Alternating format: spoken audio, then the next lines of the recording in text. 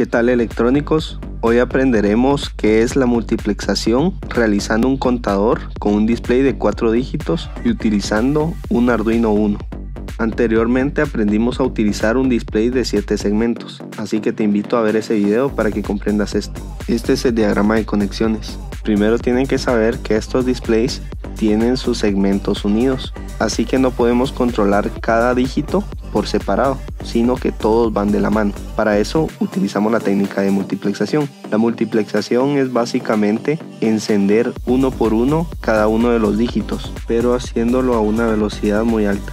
Verán que aquí le aumenté la velocidad, sin embargo, eso no es suficiente. Le aumento aún más la velocidad y verán que ya casi se mira una imagen fluida. Sin embargo, sigue sin ser suficiente. Si yo aumento aún más la velocidad, verán que ya prácticamente nuestros ojos ni la cámara detecta ese corrimiento de los dígitos. La forma en la que controlamos cada uno de los dígitos es por medio de estos transistores están actuando como interruptores. Sin embargo, no es esa su única función, sino que es limitar la corriente que consumen los displays para que nuestro Arduino no se llegue a quemar debido al alto consumo que tienen todos estos LEDs del display.